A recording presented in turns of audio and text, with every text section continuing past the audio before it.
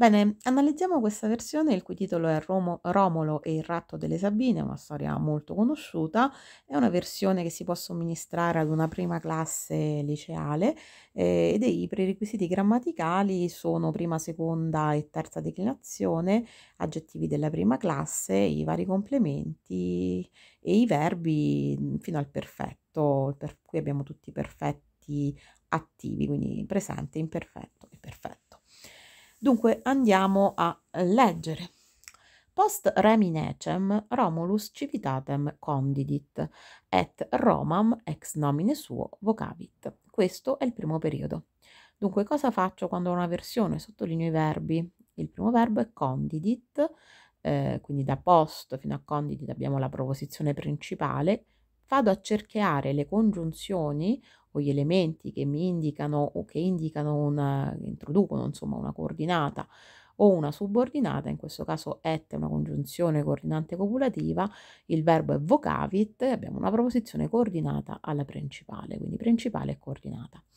Dopo aver individuato il verbo della proposizione principale vado a ricercarmi il soggetto, condidit è un perfetto, terza persona singolare, un perfetto attivo da condo, condo, condis, condidi, conditum, condere, i paradigmi me li ricerco e me li imparo a memoria, mi raccomando, e vado a cercarmi il soggetto che sarà Romulus al nominativo singolare verbo, soggetto, complemento oggetto. Il complemento oggetto espresso è civitatem, accusativo singolare da civitas, civitatem, eh, termine della terza declinazione. Quindi andiamo a fare la costruzione della frase. Romulus condidit eh, civitatem e poi abbiamo post necem remi, post che regge l'accusativo che è necem, termine della terza declinazione mi cerco il nominativo in nex, necis, necis è il genitivo e remi è un genitivo. Quindi dopo la morte di Remo, ne, necem vuol dire morte, Romolo fondò, condidit, una città. Et attenzione, vocavit, altro perfetto, terza persona singolare, chiamò Roma dal suo nome, ex più ablativo, ex nomine suo. Attenzione, dobbiamo aggiungere il pronome oggetto e la chiamò Roma dal suo nome. Roma, in analisi logica, è interessante perché si tratta di un accusativo, non è un complemento oggetto, ma è un complemento predicativo dell'oggetto. Perché? Perché segue un verbo appellativo che è vocavit, alla forma attiva e quindi è dell'oggetto. Se fosse stata la forma passiva sarebbe stato un complemento predicativo del soggetto. Comunque andiamo avanti, moltitudinem finitimorum in civitatem recepit, centum inter seniores legit, et eos senatores nominavit, propter senectutem. I verbi recepit è il verbo della principale, legit è il verbo della coordinata, la principale per asindeto, perché tra recepit e centum abbiamo una virgola, et lo cerchio, eh, perché è una congiunzione coordinante copulativa, quindi che introduce un'altra coordinata alla principale, il cui verbo è nominavit, quindi i verbi che sottolineo sono recepit, legit e nominavit. Andiamo a ricercarci ora il soggetto di recepit, me lo cercherò al singolare perché si tratta di una terza persona eh, singolare del perfetto di da recipio, recipio, recipis, recepi, receptum, recipere. Questo è un verbo a coniugazione mista. Moltitudinem è l'accusativo eh, da moltitudo, moltitudinis, terza declinazione e poi abbiamo finitimorum, che è un genitivo plurale eh, di un aggettivo. Sul vocabolario io cerco finitimus, finitima, finitimum. È un aggettivo però sostantivato. Se andate in basso, mi raccomando, alla ricerca sul vocabolario, non vi soffermate mai ai primi termini, alle prime traduzioni, guardate anche gli esempi. Dicevo finitimi, finitimorum vi traduce con i popoli confinanti, vicini, e quindi questa è la traduzione, diventa un aggettivo quindi sostantivato. Incivitatem è un complemento di moto al luogo in più accusativo. Il soggetto sottinteso è sempre Romolo. Quindi accolse nella città un numero, un gran numero, moltitudinem, una moltitudine di popoli confinanti, legit è il verbo della coordinata, quindi scelse eh, eh, 100 tra i più anziani, interseniores complemento partitivo, e, attenzione qui, nominavit eos senatores propter senectutem, questa è la costruzione, e nominò altro perfetto attivo terza persona singolare, eos è il pronome oggetto in accusativo maschile da Isaid, e li nominò senatori, altro complemento predicativo dell'oggetto, lo trovo infatti in accusativo, propter senectutem, complemento di causa.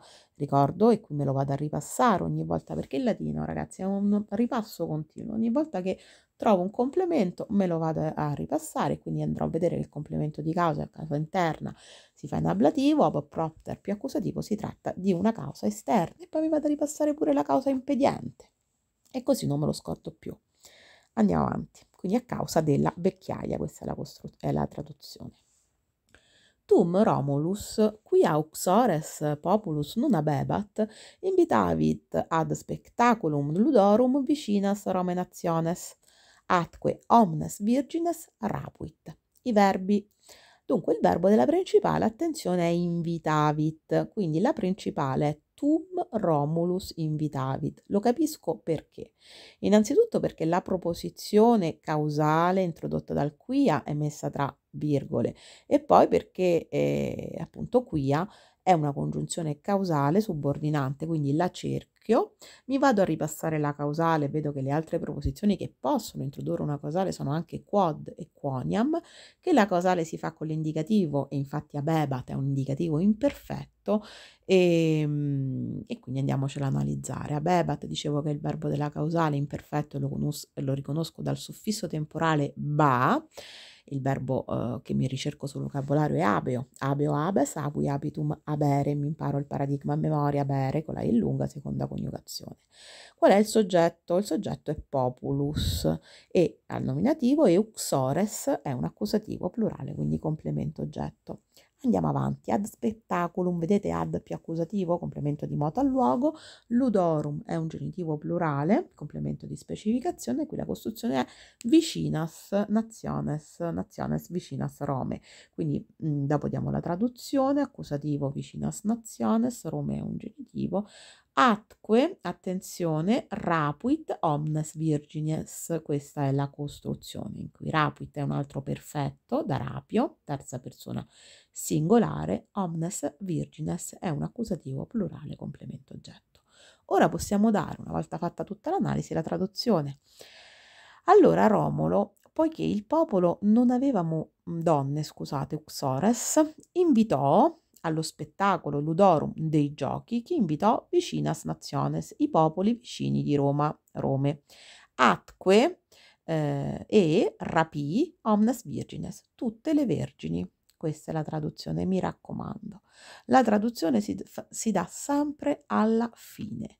Alla fine, nel momento in cui ho fatto tutta l'analisi logica del periodo corretta, ho analizzato tutte le funzioni logico-sintattiche correttamente, al, alla fine posso dare la traduzione. La traduzione non si impara a memoria, non si legge, si interiorizza perché viene fuori, scaturisce da questo processo di analisi, ragazzi.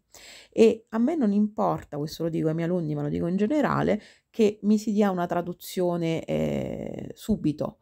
Mi importa invece il lavoro di analisi. La traduzione vi posso pure aiutare io. Mm, non, è, non è inficia poi la, la, la prestazione, l'interrogazione, questo. L'importante è l'analisi.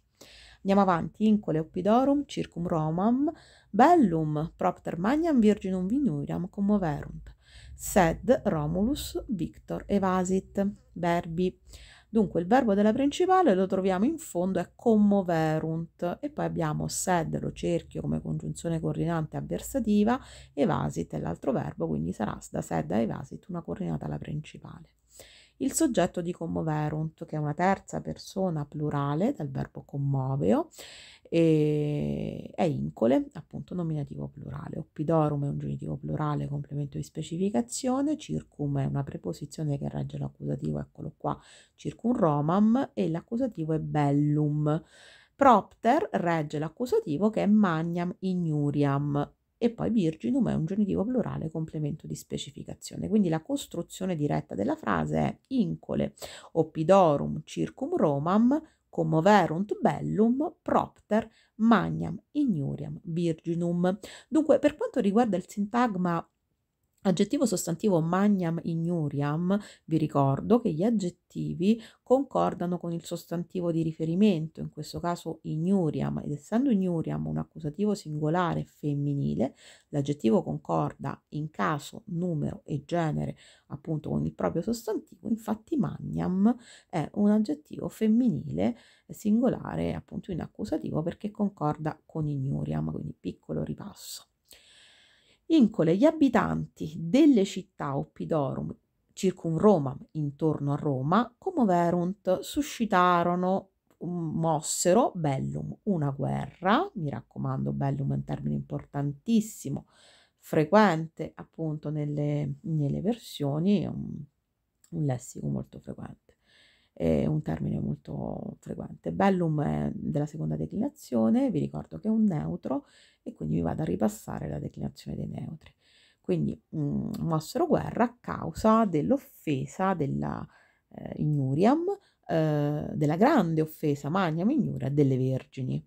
Sed Romulus, ma Romulus, devasit perfetto da evado, ne uscì Victor in funzione predicativa, qui al nominativo ne uscì vincitore, nominativo perché si riferisce appunto a Romulus. Andiamo avanti e concludiamo. Postea. Subita tempestas extidit et Romulus evolavit. Romani in deorum numero Romulum convocaverunt, eum nominaverunt Quirinum, itaque, antiqui scriptores Romanos etiam quirites vocant.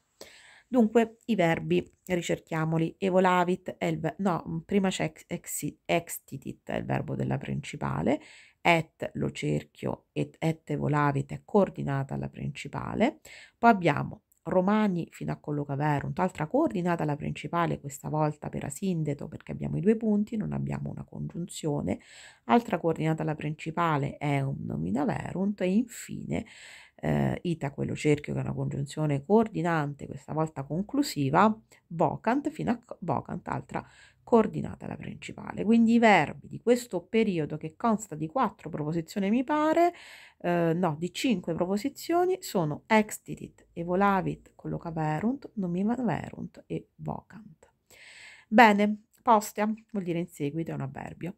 Extitit, eh, il soggetto è subita tempestas, qui subito è l'aggettivo di tempestas, et Romulus evolavit, il soggetto di evolavit è Romulus, poi abbiamo collocaverunt, il verbo della terza proposizione, che è un perfetto terza persona plurale da colloco, prima coniugazione, il soggetto me lo cerco quindi al nominativo plurale del romani, quindi romani, collocaverunt, chi che cosa, mi vado a cercare il complemento oggetto Romulum in accusativo in numero deorum, in va con l'ablativo, in questo caso non stato in luogo, eh, che è numero deorum in giudicativo plurale.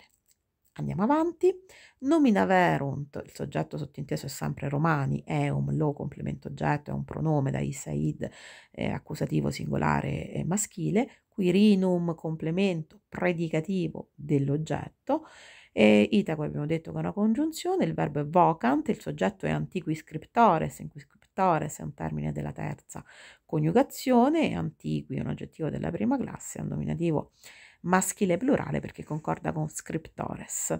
Vocant romanus, complemento oggetto, etiam quirites. Quirites è un altro complemento predicativo dell'oggetto che troviamo infatti in accusativo. Ora posso andare a dare la traduzione. In seguito un nacque extitit un'improvvisa tempesta, subita tempesta, che è il soggetto, e Romolo volò via, e volavit. I romani collocaverunt collocarono Romulum, Romolo, in numero deorum, nel numero, nel senso nel novero degli dei, lo nominarono Quirino, complemento predicativo anch'esso, perciò Itaque, antiqui scriptores, gli antichi scrittori vocant, chiamano i romani anche Quiriti.